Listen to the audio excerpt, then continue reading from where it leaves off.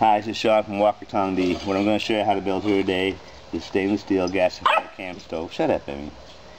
Uh, what you do is you take a stainless steel water pitcher, cut off the top, and this uh, can is going to be the outer can.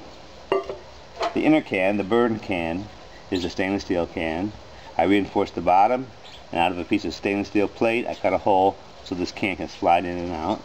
It goes inside the larger can, TIG weld around there, you got a high class quality unit. And there's a few other things you have to do, such as drill holes around here, here, and here. It makes it, you damn Hey!